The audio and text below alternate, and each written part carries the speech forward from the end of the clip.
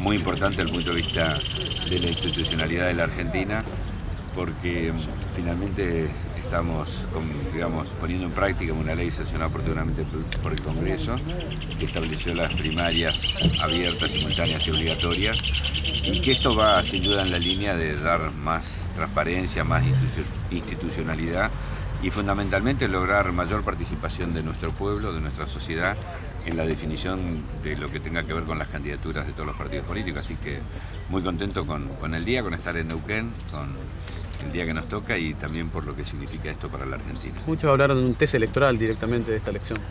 Bueno, no, yo creo que no es momento de hacer evaluaciones de ese tipo, por lo menos no de nuestra parte. Eh, pero creo que sí que es muy importante. Este, y además por la información que tengo, tanto de acá de la provincia, eh, me han dicho que en toda la provincia se están todas las mesas abiertas con total normalidad, no ha habido ningún inconveniente ni desde el punto de vista climatológico ni desde el punto de vista instrumental, que hay una participación importante hasta ahora.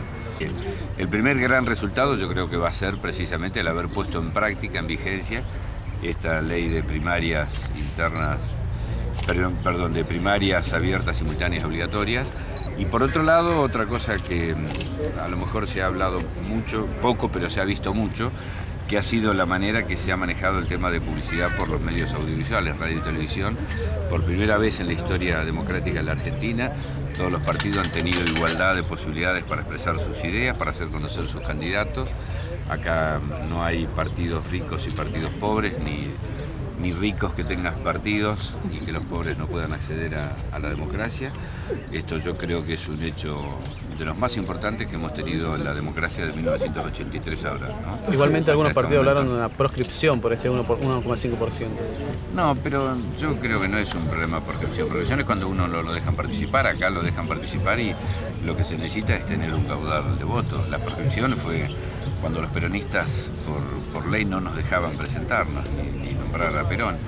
Este, esa es una cuestión instrumental, pero reitero, creo que hay que resaltar lo que ha significado para la democracia argentina la aplicación eh, de estas disposiciones de la ley, de la publicidad eh, para todos los partidos políticos. Sin embargo, y además, discúlpeme, discúlpeme, y además esto no le ha costado un peso ni al Estado ni este, a los partidos políticos, ha sido espacio cedido gratuitamente por la ley, partiendo precisamente de la premisa que el espacio audiovisual es del Estado, de todos los argentinos, y que lo que tienen los canales privados y las radios es la concesión para utilizar esas, la difusión.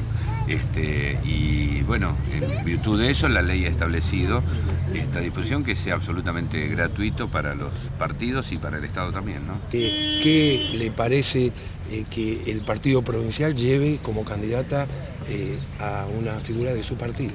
Bueno, desde ya que estamos muy, eh, muy conformes con esto y muy contentos también, nos parece bien que ellos adhieran a este proyecto nacional, además me parece un avance importante en la vida del partido provincial, que estuvo siempre centrado en, las cuestiones provinciales nada más, pero hoy creo que han entendido, por lo menos la mayoría de la dirigencia del partido provincial, que no hay posibilidad de ninguna provincia se desarrolle o tenga crecimiento si no hay un país que esté en marcha. Me parece que esto es importante y a partir de esa comprensión creo que está la decisión de ellos de apoyar la candidatura porque ven que la provincia de Neuquén no puede ir a, ningún lado si la Argentina este, no va a ningún lado.